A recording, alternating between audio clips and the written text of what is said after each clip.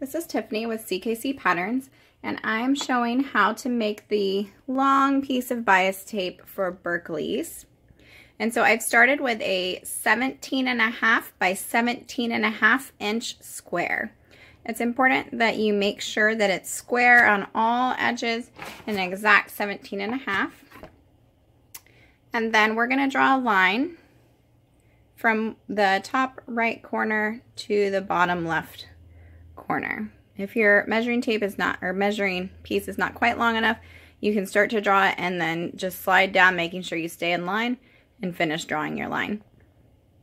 All right, so I'm gonna do that and I'll be right back. Okay, now at this point, I have drawn the line and I've gone ahead and cut across the diagonal line we just made. And then I'm marking with a little X using my um, disappearing ink pen. I drew at the bottom and then also here at the top. So now I can take these two pieces and I'm going to flip this bottom one and I'm going to put them right sides together.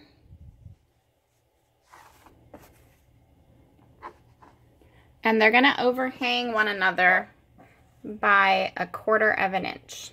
So you want to align those raw edges, right sides together, with a little quarter inch overhang on each side. And so if you were to check, the X's that you made in the last bit are touching, right sides together.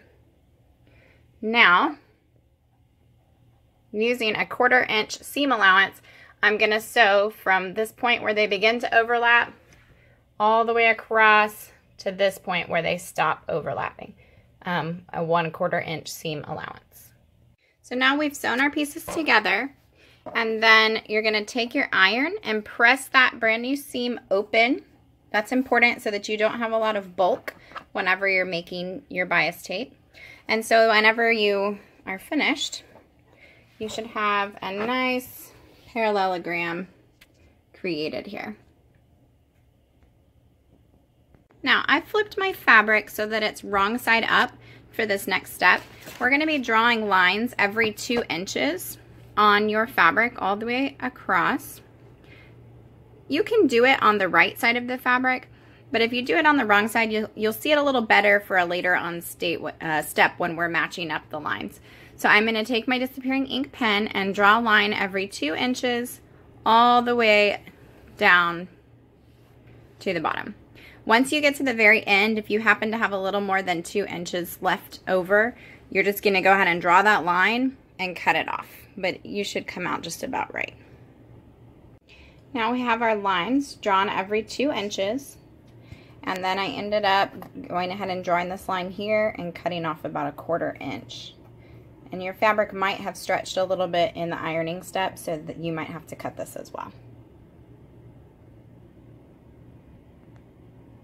Now you're going to flip your parallelogram so that it's right sides facing up. And we're going to take one edge and bring it to the center line, or the center seam. You're going to take the other edge and bring it to the center seam. Now you can see that the lines that we've drawn totally match up, but we don't want them to exactly match up because we want to end up cutting a spiral so we have a continuous piece. So we're going to pull this triangle down and this triangle up until they split to the next lines. So now instead of this lining up here, it's lining up with this line.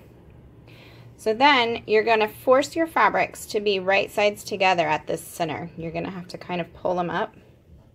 And it's going to be a little awkward because your fabrics are coming in at different angles.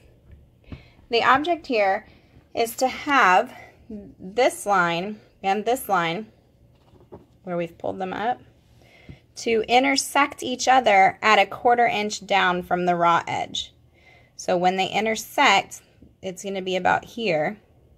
And your lines are going to be going in different angles, you can see. But we want them to intersect each other a quarter inch down. So this line is actually going this way and this one's kind of going this way. But one quarter inch from the raw edge, they're intersecting. So you're going to do that all the way down this open edge of your fabric and go ahead and pin them and sew a seam one quarter inch from the raw edge. Okay, so I've sewn my seam together. Then you're gonna press it so that it's laying out flat. And using a pair, um, well, so now you'll have a tube that you've created. And using a pair of scissors, you're going to start right here at this line and just start cutting all the way around one layer of fabric at a time, making a spiral. Now we have a long strip of bias tape. We're going to start by folding that in half and pressing a seam or a crease down the middle. Then you're going to open that back up. And then we'll take both sides and fold them into that crease and press it. And then we can fold it back in half and press it again. And this is creating a double fold bias tape. And you're going to sandwich your pieces in between these two folds. Now at the end, you can see we have like a little bit of extra here. You can just cut this off. If you're going to be doing a piece where this is the end, such as on the long sleeves around the cuffs, then you'll want to fold, once you cut this, you'll fold the short end in a quarter inch and press and then sandwich it all in here. If it's going to be finished where two edges of the bias tape are going to be meeting, you don't have to enclose the end and we'll go over that in another video.